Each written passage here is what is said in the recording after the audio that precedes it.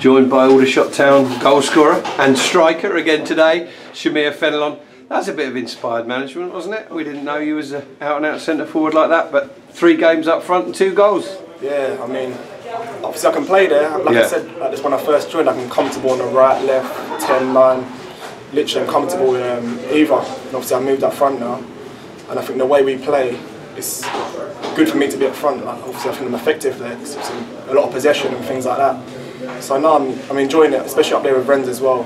It's one of the best I've played up there with. Like, just he knows what to do and um, tells me what to do, and Yeah. yeah, it's a big help. It's a really, really good, strong, solid team performance. 1 to 11 today. Everybody was on it, weren't they? Yeah, I think so. And I think that's what we need. I mean, I think we listened to everything we got told um, yesterday in a meeting. And we set little traps for them. And to be fair to the gaffer and James, they we knew exactly what they were going to do.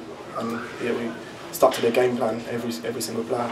Most notable about your own performance, other than the goal, was just the sheer tenacity you played with. You turned your man, you tried to get in the channels to get away from them, and uh, um, you had a couple of half chances early on. I think one of them, you know, you, you probably met yourself might might have been better falling to Renz. It was a difficult, awkward header to take, but boy, when after a brilliant team move, the ball kind of deflected back into your path, you. Uh, you, you would have you would have enjoyed that finish into the roof of the net at the East Bank end. Yeah, that's what I was, I was saying up to Vince on the pitch. I was saying, oh, these two chances, they, that's your bread and butter there. And Yeah. like, it's falling, it's falling for me today. But um, to be fair, it's going to take me next week. We're going to work on a few few things like my headering.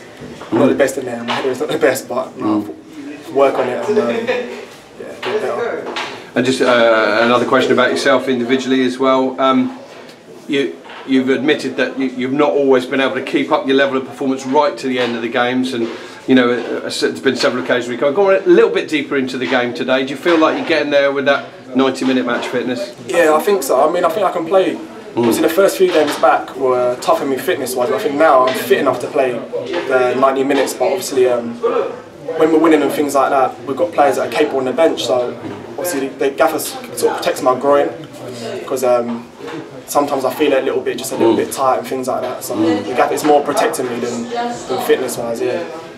And uh, as far as the, the players around you, I mean, another one's come into the ranks now, and we saw a little cameo from, from him today, uh, Johnny Johnny Giles. Your, your, your thoughts on Johnny, and also Kundai Benyu, who's really had three strong performances in the centre midfield. Yeah, I think he's been he's been brilliant. I think um, there's one time in the first half today where he's just hit a tackle, and you look at because we know he can play on the ball. He's very very good on the ball.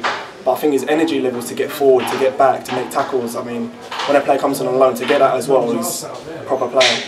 And um, yeah, I've seen Johnny in training, and yeah, you're going to see some bits of quality from him. He's got he's got quality in him that way. Nice one. And the other clubs that you've been at, have you had a sustained run, uh, right sort of up- right up front off the off the main striker before? Um, maybe four or five games. I think when I was at Tranmere, hmm. I might have played four or five games there, and then they signed a few players, so I got moved back to the right. But yeah, that's it.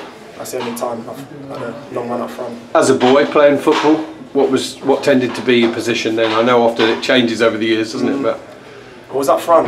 Yeah. When I when I signed for Brighton, I was yeah, Yeah. striker all the time. And then when I got into the first team, I moved back to more of a winger sort of. When I got into the first team, but yeah, in the youth teams coming up, I was always a striker. But yeah, like I've always said, I'm comfortable playing either wherever the team needs me. But I'm enjoying it up front. What's been really evident through that really difficult November and parts of December as well, when the results weren't coming, is just how well the side have stuck together. The boys have stuck together, believed in what the management is saying. Do you think that's really starting to pay dividends now as we build another little run, three wins on the trot? Yeah, I think so. I mean, it was a tough run, but the way we was, no one was falling out, no one was arguing, everything was positive. A few players had a goal when they needed to have a goal, but everything was in the, the right manner and positive. And yeah, you got to respect. Everyone in the change room respects each other. If someone wants to tell me, I have a little go at me, I respect them. So you take it on the chin, it's fine. And um, our teams I've been at, it's not always been the case. A few people have a go and have a snap back, but here it's um, take it, take the advice from everyone. We're in an unusual position now, no midweek game and indeed no match next weekend. Uh, that doesn't happen too often during the season, does it? Any idea what the plans are uh, in terms of the players? Will you get a weekend off?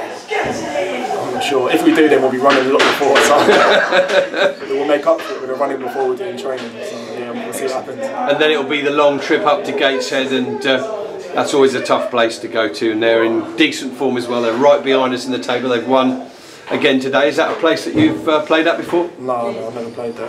It's one of those athletic stadiums, uh, you know, where you're quite a long way from the pitch and the Yeah, like- atmosphere. I've- no, I've never played at one of those. So, yeah. Well, it'll be cold up there, so take an extra layer anyway. And uh, hope you and the boys all stay in good shape. Really, really enjoyed the performance along with the rest of the Shots fans here today. And uh, congratulations on your goal and the win. And look after yourself. We'll see you in a couple of weeks. Thank you. Cheers, Shamir.